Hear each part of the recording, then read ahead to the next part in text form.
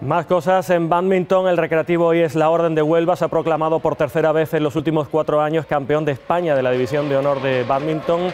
Le ha ganado los tres puntos que precisaba en el partido de vuelta de la gran final al conjunto sevillano de Soderinsa Rinconada, a quien le faltaban sus jugadores ingleses claves para sus aspiraciones. La jugadora de la Orden, Aide Ojeda, ha ganado sus cuatro partidos en esta final. Nuevo título para un equipo que está haciendo historia.